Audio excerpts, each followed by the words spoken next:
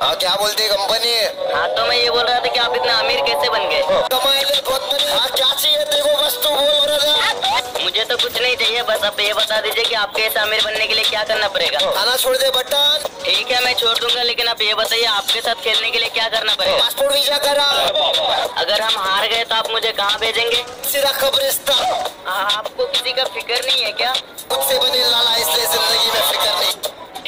फिर मैं किसी दूसरे टीम में जा रहा हूँ। इधर भी जाओ लेकिन इधर मत मराओ देखिए आप गाली मत दीजिए आप पे ठीक नहीं लगता। मत कर सर मैं ये कह रहा था कि आप मुझे गाली दीजिए ना मैं तो गाली के ही लायक हूँ।